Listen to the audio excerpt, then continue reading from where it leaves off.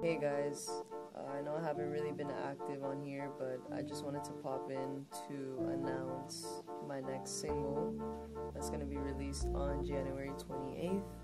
If you go to my link tree, you'll find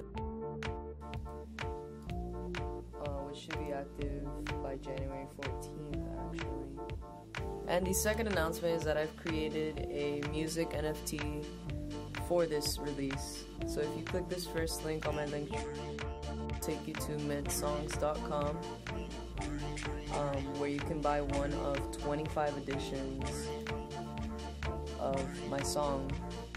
Um, so you'll need a wallet to be able to buy this.